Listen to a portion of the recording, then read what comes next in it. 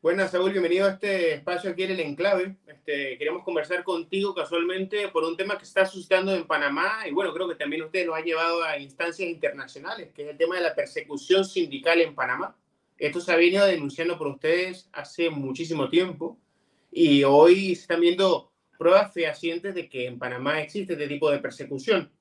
Pero antes, Saúl, de comenzar, tú eres secretario del SUNTRAX, el Sindicato Único de Nacional de los Trabajadores de las Construcciones Similares, ¿verdad? Si no me equivoco.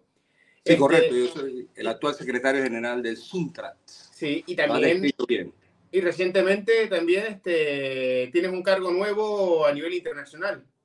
Yo soy presidente adjunto global de la Internacional de la Construcción y la Madera. Es un sindicato mundial que tiene a su haber 12 eh, millones de afiliados en más de 132 países del mundo, en los cinco continentes, y hemos sido electo presidente en efecto adjunto de esta importante estructura de trabajadores internacionales. Para efectos de las personas que nos escuchan de afuera, que no saben lo que es el Suntrax, háblanos un poco acerca de por qué el Suntrax es tan fuerte en Panamá y tan importante en Panamá, para que la gente entienda un poquito el contexto. Sí, bueno, Suntra es, como ya se ha dicho, el Sindicato de Trabajadores de la Industria de la Construcción en Panamá, un sindicato que nació en el año 72, tiene 51 años, ha negociado el convenio colectivo con el sindicato patronal, la Cámara Panameña de la Construcción, y además de eso representamos más del 90% de los trabajadores de la construcción en el país, lo cual ha permitido en el desarrollo histórico de Suntra y esto quiero decirlo con toda humildad, eh, crear la organización quizás más importante que ha existido en la historia, historia republicana en el país. Y esto también ha permitido un desarrollo importante de esta organización que está extendida a lo largo y ancho del territorio panameño. Panamá está dividido en 10 provincias, eh, políticamente hablando, eh, y allí pues Suntra tiene presencia en estas 10 provincias y sus posiciones en torno a enfrentar el modelo económico neoliberal, el saqueo del Estado, la entrega a la soberanía, eh, ha concitado de que el enemigo de clase, en este caso el poder económico y sus instrumentos, los partidos políticos tradicionales y su gobierno en distintos periodos han emprendido una persecución contra Suntrax, contra sus dirigentes, y en esta oportunidad, a la sazón de la derrota de un contrato inconstitucional declarado, después de dos meses de paralización del país eh, por parte del pueblo panameño, y en eso Suntra jugó un papel importante, eh, la persecución que empezó a darse en medio de la crisis de octubre y noviembre del año pasado, el 2023, implicaron, entre otras cosas, el cierre de las cuentas en los bancos de Suntra, eh, procesos penales que se han incoado o se han presentado contra Suntra y sus dirigentes, eh, procesos amarillos, obviamente, como medida de persecución, fuera de una campaña de odio sistemática y permanente de las poderosas maquinarias de medios de comunicación tradicionales en el país, controladas por el poder económico, que sirven de dominación cultural e ideológica. Así que hemos enfrentado esa situación en el pasado y la estamos enfrentando ahora en el presente. Contra dirigentes de Suntra y demandas penales presentadas a la sazón de la lucha que acabo de manifestar, que es contra una multinacional First Quantum Mineral de capital canadiense, pero que también esta empresa tiene acciones de estados como Estados Unidos, China, Singapur, Corea del Sur, entre otros, lo cual viola flagrantemente la soberanía del Estado panameño. Así que, eh, por lo visto, lo que tenemos aquí, en medio de esta persecución del cierre de la cuenta de Suntra, es que el poder económico ha decidido de alguna manera aniquilar la organización de los trabajadores de la construcción y en consecuencia también tratar de aceptar al movimiento popular panameño un golpe en torno a este tema, lo cual nos obliga a resistir este, este embate y por ello, pues no solo a nivel nacional, sino a nivel internacional, en medio de la coyuntura pasada como ahora, hemos eh, denunciado lo que ocurre en Panamá y hemos recibido la solidaridad del mundo sindical y del movimiento popular en términos a nivel global y estamos pues frente a esta realidad que sería el contexto con el que eh, respondo tu pregunta. Ahora, Saúl, no es la primera vez que ustedes enfrentan este tipo de represión. Ustedes incluso han tenido muertos este, de, por parte del sindicato. Se enfrentaron a la reforma laboral del 95 de Ernesto Pérez Valladares. Se han enfrentado al intento de privatización de Mireya del Seguro Social y a otros tantos intentos de, de acabar con los derechos de la clase trabajadora en Panamá. Este, ¿Me puedes hablar un poquito más de esa, de esa lucha que ha tenido el Suntrax contra ese régimen neoliberal panameño? Sí, bueno, eh, lo primero es decir que en el año 89 hubo una invasión norteamericana, una más, al territorio nacional, y con ella se instaló, entre comillas, la era democrática, en la que se impuso un gobierno que eh, se juramentó en la base militar norteamericana de los invasores, y este gobierno trajo consigo la concepción neoliberal en un proceso de aceleramiento del mismo. Recordemos que estamos viviendo en el mundo también en aquellos años la caída del muro del Berlín, después vino la desintegración de la Unión Soviética y con eso pues el acelerador mundial de las políticas económicas neoliberales tomó su máxima expresión. En Panamá no fue eh, ajeno a este asunto y desde este gobierno del año 1990 hasta ahora hemos tenido que enfrentar siete administraciones, todas con políticas eh, aberrantes de hambre, miseria contra el pueblo trabajador panameño. En el gobierno de Endara se hicieron reformas a la seguridad social, también a, la legislación laboral, a los tributos. Empieza en ese momento a pagar más tributos la población que los empresarios, el poder económico. Y las empresas en el gobierno de Pérez Valladares se avanzó con privatizaciones de empresas estatales. Eso se enfrentó, se trató de privatizar el agua, la reforma laboral del 95, que trajo como consecuencia cuatro muertos, un número indeterminado de heridos, más de 500 detenidos. Eh, así que hubo que enfrentar esa situación, además de la venta de la soberanía que querían dejar las bases militares norteamericanas más allá del año 99 en el periodo de Mireya Moscoso, como se indica, el avance a, la seguridad social, privatizar la seguridad social, aumento del pasaje se dio en ese periodo.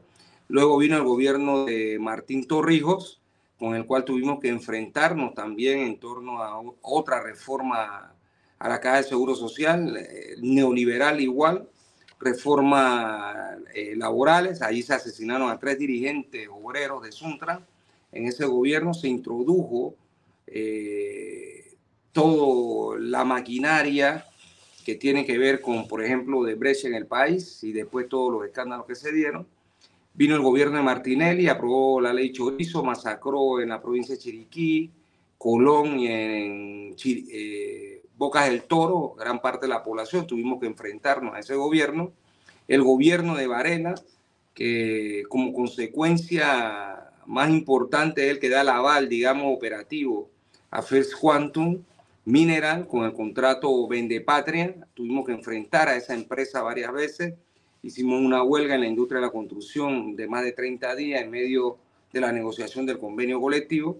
Y el gobierno de Cortizo, que sería el séptimo gobierno que con políticas de hambre y de miseria acumulada a lo largo de estos 30, eh, 34 años, el año pasado hubo un estallido social, en julio del 22, eh, perdón, hubo un estallido social eh, que demandaba rebajar los precios de la comida, medicamentos, eh, de la tarifa eléctrica y demás, fuera de los oligopolios, monopolios que controlan el mercado, incrementan los precios a su manera y volvió a estallar con el tema de la soberanía nacional, el cuidado del ambiente y la negación de que Panamá sea un país minero por parte de la población, el año pasado, en el 23, en octubre y noviembre, pues una jornada patriótica de lucha popular y obviamente esto es lo que ha generado que la clase dominante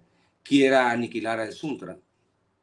Aparte de ese cierre de las cuentas, ustedes, y no solamente en esta ocasión, sufren también la persecución mediática, no solamente de los medios de comunicación, por decirlo así, tradicionales, sino también de esos medios supuestamente alternativos. Este, en días pasados, cuando tú estabas viajando casualmente a Ginebra, se efectuó una campaña de desinformación sobre tú viajando en carnavales, este, en primera clase. Durante el, las protestas de 2022, no sé si te acuerdas de aquellas pancartas que, que se las vinculaban a ustedes de comunismo y no sé cuánto. Y, y, y, te acuerdas durante la, la, la, huelga que tuvieron ustedes, una huelga representativa en Panamá, un país donde casi no se hacen huelgas, este, toda la campaña mediática que tuvieron en contra. En todas partes del mundo el poder mediático, el cuarto poder, forma parte de, está en manos de la oligarquía, ¿no? Pero esa ha sido parte también de la campaña en contra y una herramienta para la persecución de ustedes. Sí, fíjate, no solo cerraron la cuenta de Suntra, cerraron la cuenta de la cooperativa de servicios múltiples Suntra RL, que está regulada por una personería jurídica distinta, que además de ello se lo regenta eh, un órgano del Estado que se llama COPEDUT, distinto, y que nada tiene que ver con las actividades de Suntra, el sindicato. Esa eh, cuenta también la cerraron como forma de persecución, eh, sin ningún argumento realmente jurídico. Esto en realidad es una persecución politiquera contra Suntra y también contra dirigentes de Suntra. A nivel personal, las cuentas de más de 15 dirigentes, miembros de la junta directiva de Suntra fueron cerradas en la caja de ahorro. Y al igual que la caja de ahorro, en esa operación mediática que tú acabas de indicar, filtraron a el diario La Estrella de Panamá de que el cierre de las cuentas se daba por movimientos extraños y movimientos vinculados al terrorismo.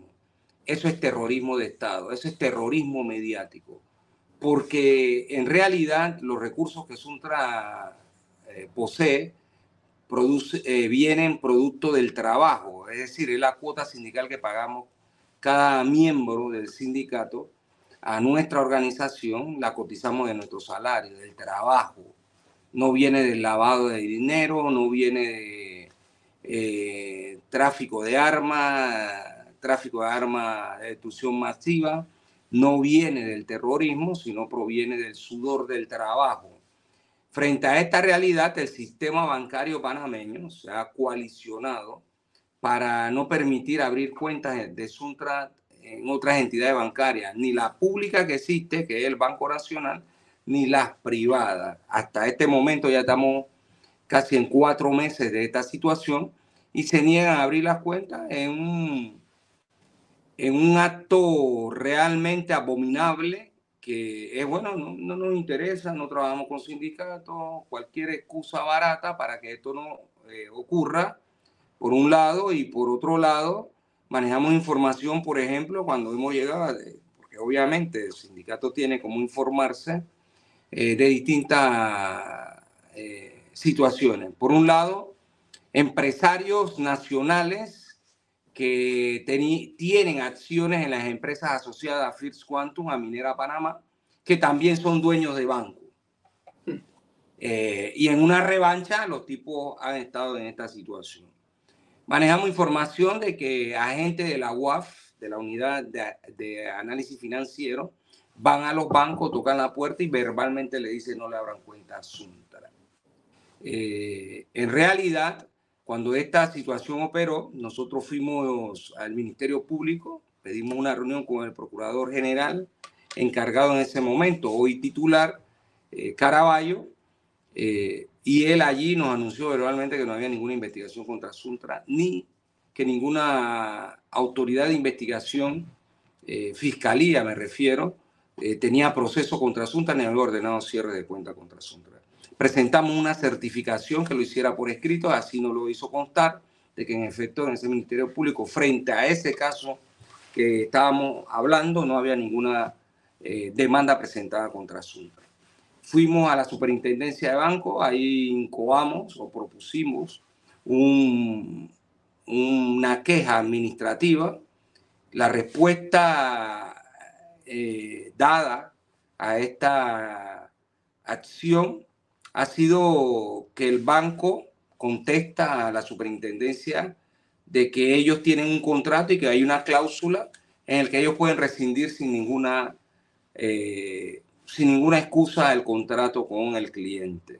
Esa es la defensa de la caja de ahorro. Eso mismo hizo constar en la querella penal que presentamos, primero como denuncia y ahora eh, nos hemos constituido como querellantes contra el, gerente general de la Caja de Ahorro, la Junta Directiva y la gerente general de la sucursal en donde estaban los recursos. Eh, la respuesta de la Caja de Ahorro al Ministerio Público está en el mismo sentido. Aquí hay un contrato, se puede rescindir y nosotros lo rescindimos. ¿Qué quiero decir con esto? Que claramente no, hay, no hubo ningún movimiento extraño mucho menos vinculado al terrorismo y en consecuencia la defensa de la caja de ahorro ahora es que hay la posibilidad de que ellos rescindan el contrato si les da la gana. Esa es la defensa técnica jurídica de la caja de ahorro. La Defensoría del Pueblo abrió, un expediente eh, pidiéndole a la caja de ahorro explicaciones con relación a este tema, a la ministra de Trabajo eh, y a otros funcionarios, creo que también al Ministerio Público con relación a este tema. Y entonces, obviamente, como no hay un argumento sólido con relación a por qué se cierran las cuentas, entonces se acude, obviamente, al elemento ese de que se puede hacer a libre albedrío, por un lado. Por otro lado, entonces la combinación mediática, porque al, filtrarse esta información a la estrella de Panamá y titular de forma irresponsable, eh, lo que mencioné hace un rato, movimientos extraños vinculados al terrorismo, sirve como excusa, digamos, para que el resto de la banca no permita abrir cuentas a Suntra y no permita depositar los fondos que desde la caja de ahorro se cerraron. Estamos hablando de unos fondos que son millonarios y que naturalmente mover esos recursos implica eh, cumplir con todas las normativas legales eh, que se requieren para ello. Suntra frente a eso agotó a lo interno su órgano de decisión máximos, su junta directiva, su Consejo Nacional Sindical, su Asamblea General, para dar todos los pasos legales necesarios para aperturar sus cuentas utilizando todas las posibilidades legales que existan dentro y fuera del país para romper con esta situación que se ha presentado en este momento. Sabemos que los enemigos lo que pretenden es aniquilar Suntra y bueno, Suntra tendrá el derecho a defenderse como legítimo derecho frente a una pretensión de esa naturaleza y en eso estamos, generando las posibilidades de poder romper el cerco, eh, por un lado, eh, financiero y enfrentar el cerco mediático, porque como tú indicas, algún tonto útil, si es que no era un seguimiento de los organismos del Estado, estando en el counter del aeropuerto, donde ya me disponía a tomar un vuelo que sí venía a París, pero en tránsito a Ginebra, porque en Ginebra está la sede central de la Internacional de la Construcción y la Madera. Aquí se reunió el Presidium Global de la Internacional de la Construcción y la Madera. Y naturalmente no es la primera vez a la que asistimos a estas reuniones. Y veníamos en tránsito. Y en esa operación que estoy diciendo, que es la que se considera como guerra de nueva generación, que no solo se disparan tiros reales, sino que además se utilizan los medios, tratan de tergiversar todas las mentiras de que si me vine con plata de la organización a los carnavales en París y toda la, pestilencia. Esto realmente es, repugnante, ese amarillismo de lo que se conoce como periodismo, por un lado, pero también eh, eh, de estos mismos periodistas y otras personas que le han cultivado la cultura del odio que empiezan a hacer campaña en redes sociales, ¿no? Para tratar de confundir a la población. Pero bueno, los despachos que hemos hecho desde acá también rompen eh, con esa mentira, porque estas mentiras no tienen posibilidad de convertirse en verdad, aunque traten de repetirla mil veces. Y el país conoció de lo que nosotros hemos informado. Hemos, nos hemos reunido en Ginebra con un buffet especialista abogados para eh, explorar la posibilidad de abrir cuentas bancarias en Suiza, obviamente que tengan también eh, sedes en Panamá. Eh, nos hemos reunido en el Presidium Global y vamos a dar a conocer en el día de hoy la reunión que sostendremos con el director general de la OIT para manifestar estas inquietudes que tenemos, pero además para poner de relieve claramente la persecución que hay contra Asunto. Saúl, para no quitarte más tiempo, pues ya andamos un poco cortos de tiempo, esto llama la atención en un país donde los bancos se prestan para mover plata de narcotráfico, para mover plata del lavado de dinero muchísimas veces, donde se encuentran cuentas donde se movieron por años este, fondos, este, por decirlo así, de dudosa procedencia, pero resulta que cierran cuenta de una vez cuando es un sindicato. Y poco llama la atención cuando en Panamá, que es un país que tiene cerca de una afiliación sindical, la afiliación sindical no llega en Panamá a más del 20%, hay una campaña constante de terror contra la afiliación de, trabajadores a los sindicatos, a la organización de los trabajadores casualmente para hacer cada vez más miserables esas condiciones de los trabajadores este, en Panamá, que han empeorado con el tema de la pandemia bajo una excusa de, reestructurar la economía panameña. A modo de conclusión, ¿me hablas un poquito acerca de, ese, de esa contradicción? No, yo creo que es importante ese elemento que tú manifiestas. El sistema bancario internacional que existe en Panamá ha sido sancionado por el resto del mundo, es decir, por la GAFI, por la Unión Europea y otras eh, entidades, producto del lavado que convirtieron el país. Recordemos los famosos Panama Papers, que fue un escándalo de orden mundial, luego los Pandora Papers, y en el caso de Odebrecht, por ejemplo, que también tuvo connotaciones de orden mundial, en Panamá se lavaron todos esos dineros. Y los corruptos que lavaron el dinero, los empresarios que lavaron el dinero, dentro y fuera, y los bancos que lavaron el dinero, pregúntese usted si alguien está sancionado frente a eso.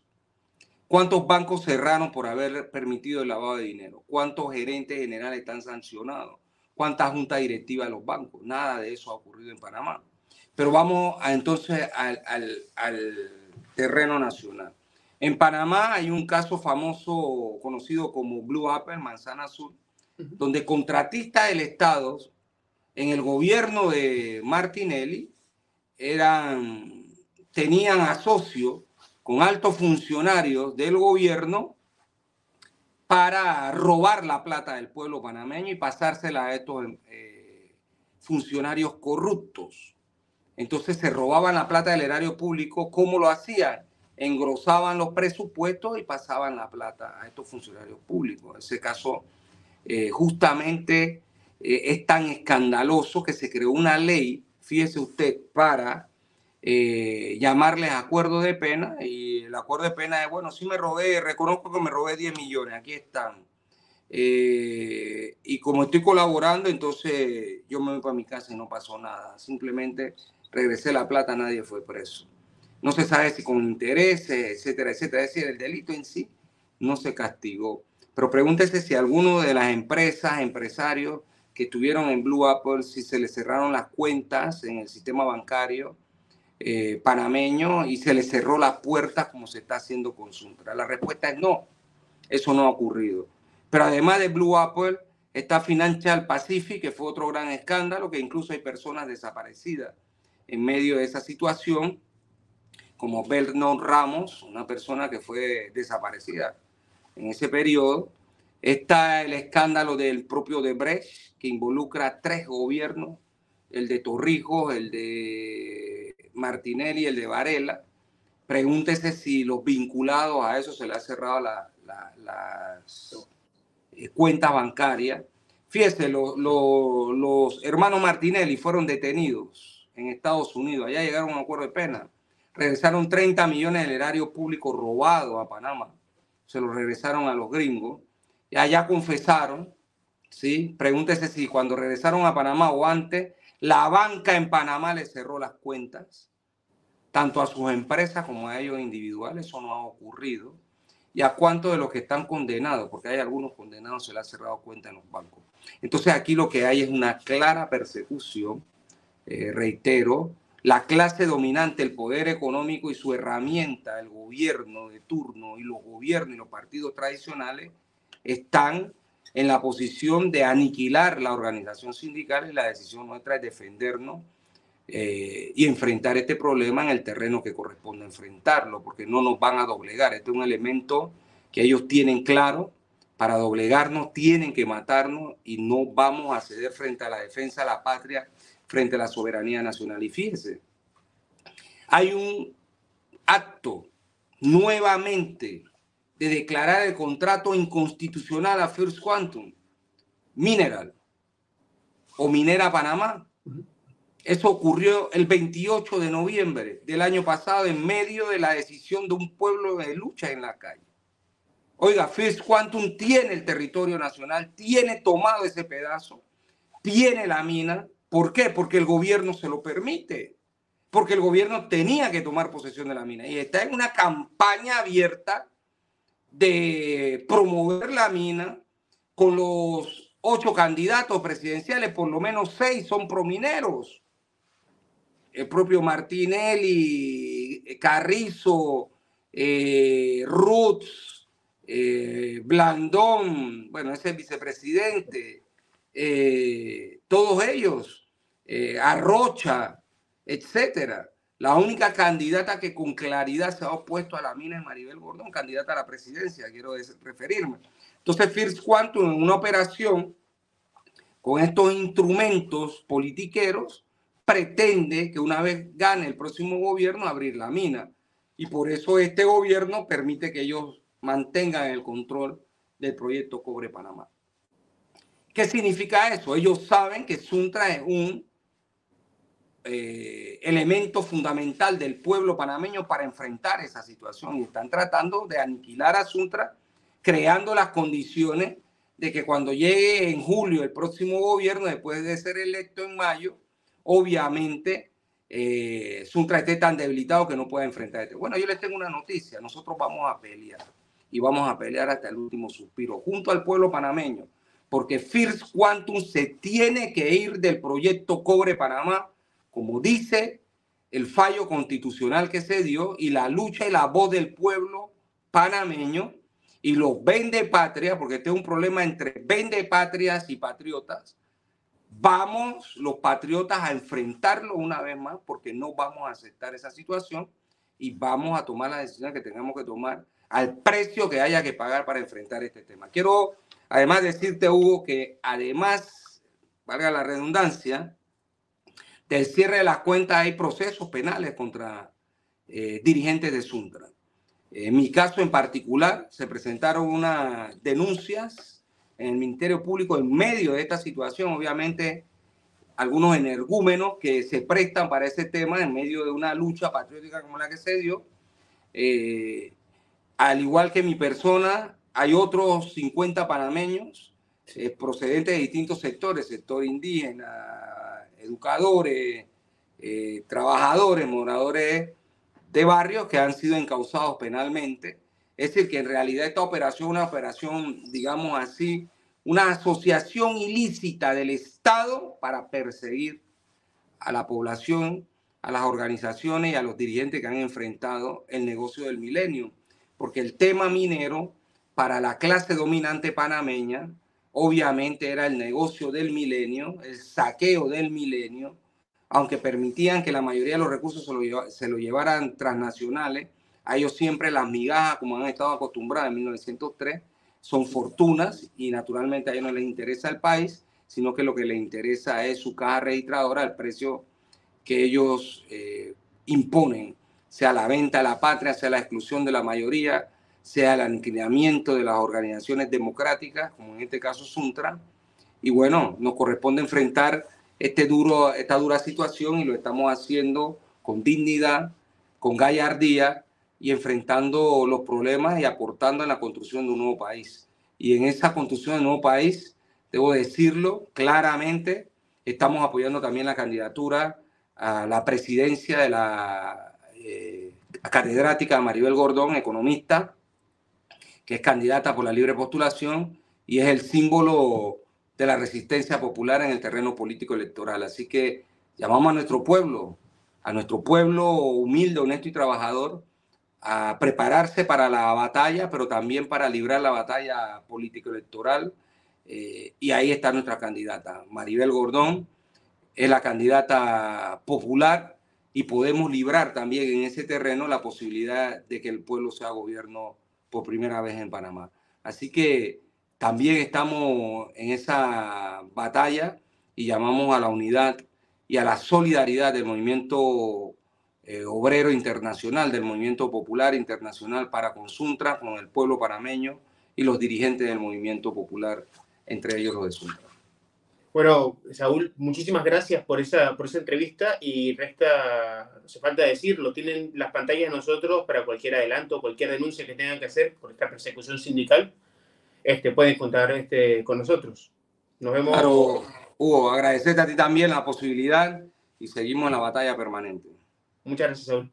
Gracias.